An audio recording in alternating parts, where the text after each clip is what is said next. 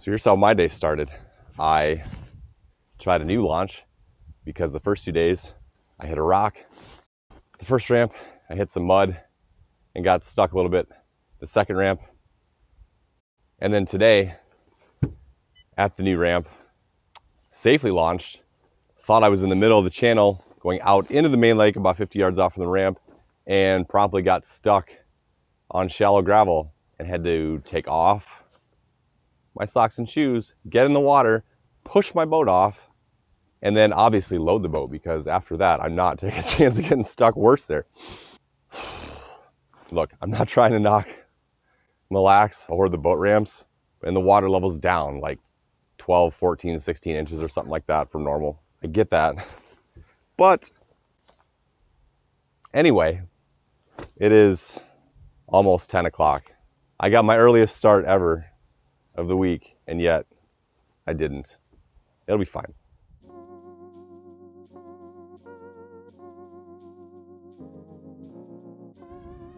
One thing we do have going for us today, though, is the fact that uh, I can kind of fish without gloves, especially when the sun's out.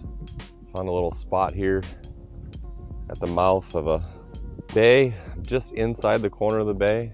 There's a nice little, kind of the same thing I've been working. It's a rock reef with some sand on the edge. So I'm not super sure. Like I'm more in the rocks right now and I'm trying to decipher whether or not I'm actually seeing fish in there or just rocks. If they're hungry fish and we get bit first cast or two, then we know. Otherwise, maybe we'll reassess the situation. Got some fish there. Let it go. Oh. Oh, what is going on? Why can't I hook that fish? Is that a perch? Is that a little walleye? Is it a big walleye not biting well? It's shallower than I've been fishing the whole time. I'm in 10 feet of water. Oh, one picked it up right here. And then he spit it right away. Pick it up again.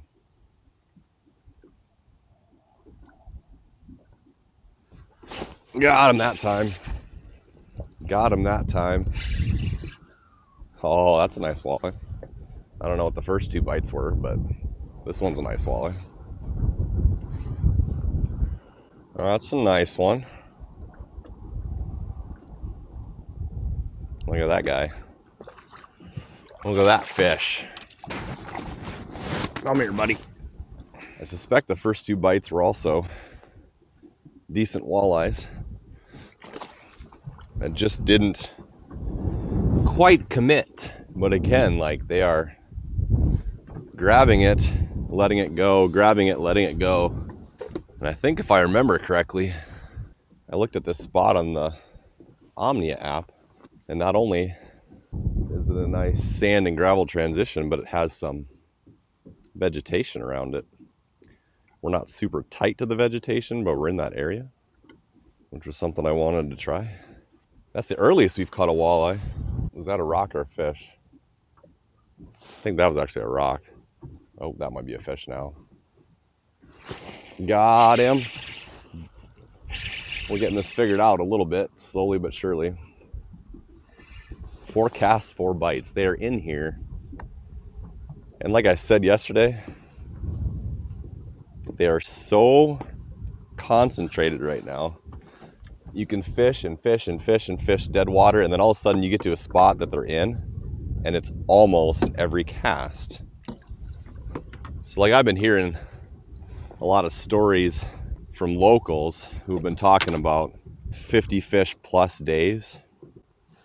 And I see how they can pull that off, but it's not everywhere. You got to find a spot that they're on, and then you can rack them pretty quickly if you remember from day one, when we did that full Omnia fishing app explanation, it was like all the spots I was trying, and then once we got on that spot that had fish, I caught them almost every cast. This time I've had bites on every cast. It is a little different spot than what we've been fishing. It is, there is a point here. I'm off the end of a subtle point again, which is not different. This is a little flatter, a little less rock and gravel, a little more sand, and a little closer to a weed bed. I do have to give Crappie T a shout out too because he said I needed to check out this area. Although he was fishing it in June, but here we are in November and we got some fish coming back into some of these same shallow, sandy areas. Nice selection, Crappie T. Only took me three days to finally try it. I was too stubborn. And here's the other thing about me like, I am such a glutton for punishment, I suppose, if you want to call it that. But three days, I have fished three completely different areas of the lake. It's almost like I'm just so set on, okay, we found fish there, we figured that out. Now let's find them somewhere else. I can't just go back to those spots and just crush fish over and over. As fun as that is, I just have this incessant need to find them somewhere else the next time. and we've done that so far. Like yesterday was a little tough with that wind and cold, but we did get on a spot where we found some nice fish. Now here we are, day three, yet a new area, new spot. I'm gonna try a little shallower angle. And this one, this is kind of interesting because like I actually got more of my rock and gravel on the deeper side and it's like almost like you got an inside weed edge, you got an inside rock edge. There's more sand on the inside. Not something I've seen yet, but that's how this spot shapes up. Yeah, it looks like there's some scattered small fish stuff on the down imaging that I think might be perch. It's not like schools of smelt like we see on Sakakawea, but it's just little individual fishes. Possible slash probable there's some walleyes in here chasing perch, you know. There's one cruising over there. 1219 Humminbird time. Cruising on them rocks over there. Pick it up. Pick it up, fishy. Try to just do some slackline twitching so the momentum doesn't move a whole lot. Try to keep it in the same place a bunch.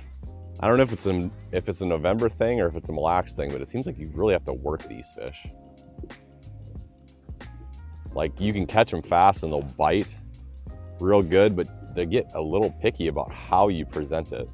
The fact that we got four bites though in the first four casts and now we got like three or four empty casts, we either need to cruise further ahead on this spot or find a new one. I decided to try a plastic here to see if I can get a few more going on a plastic and I think I got a nicer fish. That is a bigger one. Nicer fish on the plastic, okay. That's interesting. That's interesting. Nice.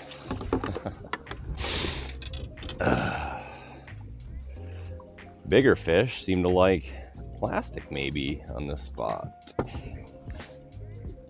And the funny thing was, I had pulled it and I went to my map to look for another spot and it was just sitting on the bottom. And he picked it right up off the bottom. That's about a 21 incher, I think.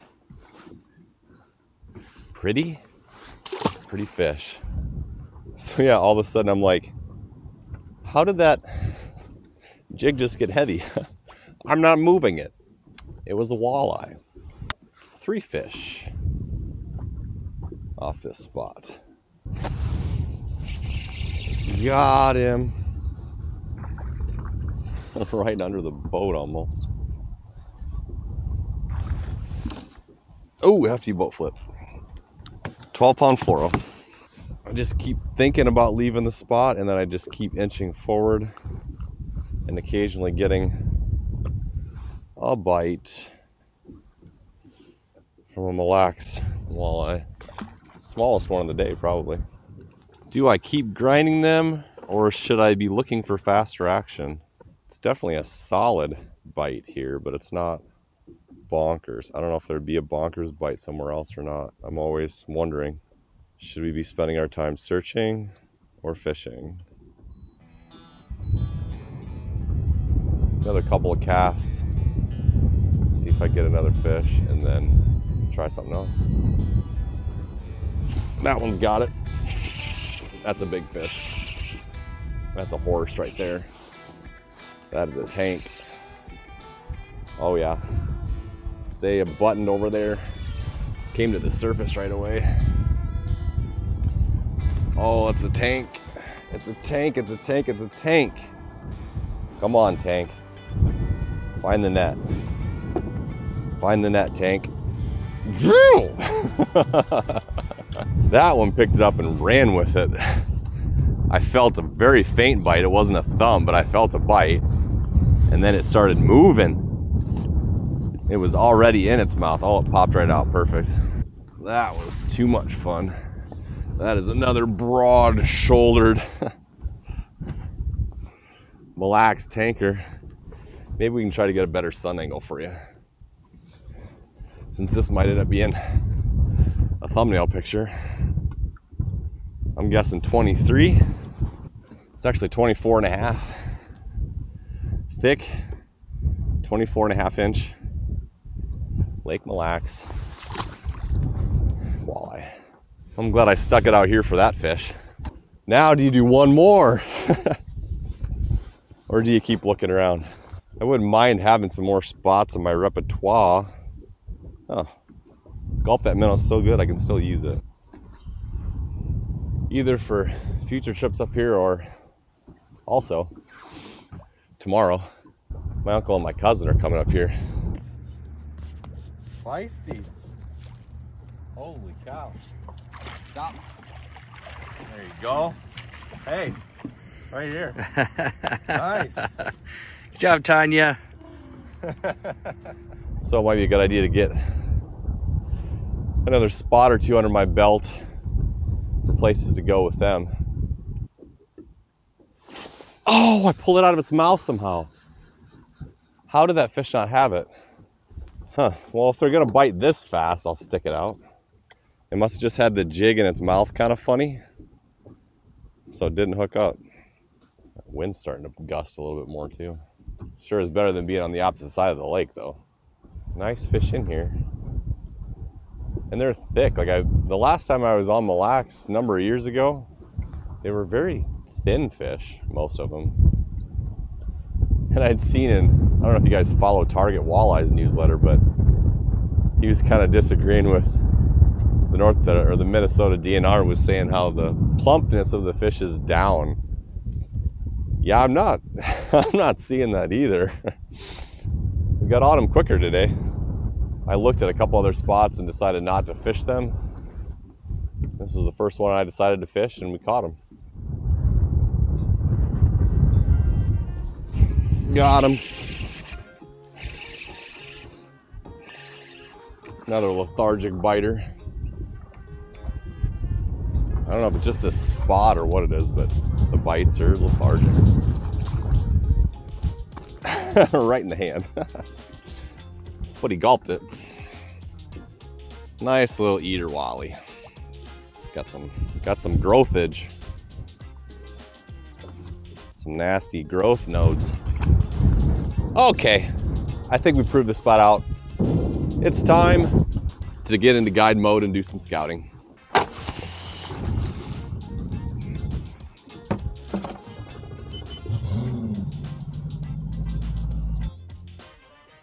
Well, I didn't move very far. I found a, there's just a subtle little hump right ahead of the point I was fishing. And I just saw a mountain of fish. I'm like, ah, I gotta cast on these quick. And I didn't even get the camera on before the hook set, but this is a tank on the plastic. I just, I saw these fish. I didn't even want to bait up with the minnow. So I just threw the plastic out there and he freaking whacked it at a minimum, it's a really feisty one. Yeah, it's a pretty big fish. That's pretty big. That's a pretty big Mille Lacs Walter right there. oh, I'm glad I stopped on that pot of fish. And again, the plastic got another good fish. That's a toad. Just thick. Inhaled that plastic. Gonna need a forceps. First cast, two pops, wham! Didn't even get the camera turned on. I missed the hook set by a split second. I was so close. That's probably another 23, 24 incher. Oh, mama.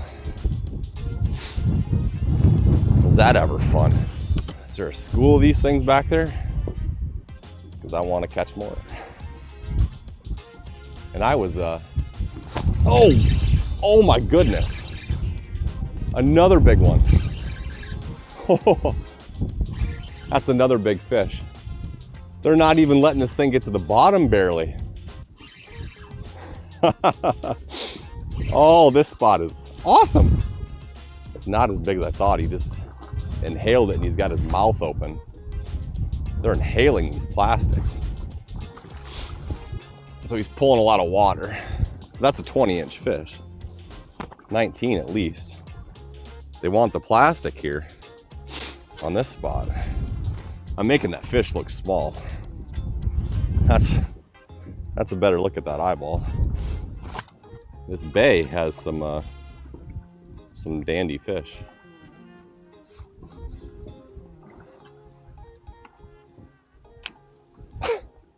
I was just like so surprised that was a bite already. I'm like, why is that heavy? Because a fish ate it. Goodness sakes. I thought it was like I got a gust of wind and it just felt like, oh, well, something's feeling odd on the rod. it's a fish. Set the hook, dummy. 143 Humminbird time. 1243 my time. I think we got the two most aggressive ones out of here. Let's try minnow. It's just crazy how you get to a spot like almost all the spots, except for day one. You get two real quick, and then you gotta work like a dog for the rest of them. I've noticed that on like some of these shallower natural lake, like Mille Lacs has, you know, at least mid 30s foot of water. I don't know exactly how deep it gets, but there's, it's not a hundred foot deep reservoir like Sakakawea. But if you just get these shallow little bumps, that can be nice little fish attractors. You know what the funniest thing about all this is? The bay that I tried to launch at, where I got my boat stuck and pulled out of, is the bay that I'm catching these fish in. This was where I was gonna go. I just had to take a longer route here.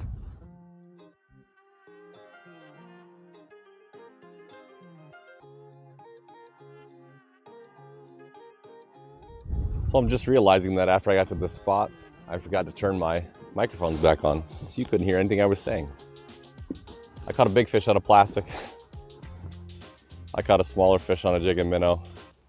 There's a pile of fish in here. The screenshot I was trying to show you is, it's right at a, a transition zone where there's like a real steep break, which is harder bottom, and then it goes into sand, and then there's a little knob right in the middle. So I'm parked on the knob right when it turns into the flatter, sandier stuff. Oopies, sorry about that. Just a pile of fish in here. But since we're at like two o'clock in the afternoon, maybe the bite's not quite as hot anymore. So I haven't been able to get but two of them to go. Turn on the microphones. I think that's all the stuff I said when I didn't have microphones on like a moron. If I missed anything, you'll never know.